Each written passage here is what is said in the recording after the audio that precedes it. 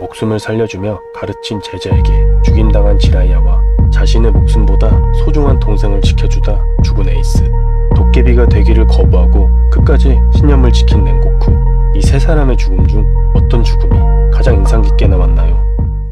지라이아는 닌자 대전 때 고아가 된 나가토와 코나, 나이카를 제자로 받아들여 자립할 수 있을 때까지 키워준 스승인데 증오로 상처를 받은 제자들이 길을 잘못 선택하며 비참하게도 자신의 제자에게 죽임을 당하게 되고 남은 제자인 나루토에게 크나큰 슬픔을 안긴 인물입니다.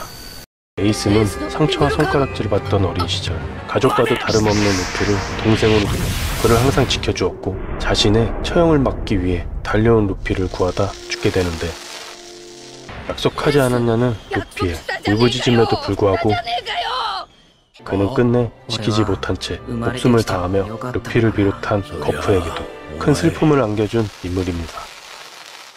랭고쿠는 죽음을 두려워하지 않고 자신의 책무를 다하기 위해 절대 포기하지 않는 신념을 가진 채 싸웠고 죽음을 무릅쓴 자신의 행동에 대해 슬퍼한 탄지로를 보며 끝까지 믿음을 말하면서 오히려 그를 위로하였고 삶의 마지막은 어머니를 마주하며 생을 마감한 인물입니다.